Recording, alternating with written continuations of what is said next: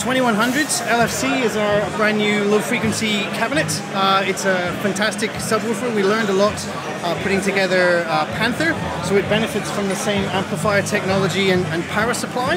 And that enables it to be very green, very efficient. It doesn't consume a lot of power just when it's idling, but much like a strobe light, can deliver incredibly bright power in an instant. Um, the 2100 can deliver incredibly uh, powerful and uh, detailed low frequency in an instant. Uh, it's an incredibly powerful box, as, as I've said, and uh, 2100, uh, a 21 inch driver, I should say, is just the driver alone is quite a lot of mass to move. So in order to move it quickly and to be able to get that detail that you would come to expect from Meyer Sound, we've actually put vo four voice coils in it. Um, so that's another thing that we're able to do uh, because we have active technology, because we have uh, power on board, we can actively cool those voice coils and keep them at the right temperature so that we can keep moving all of that air uh, and moving it very, very fast and uh, providing all that detail.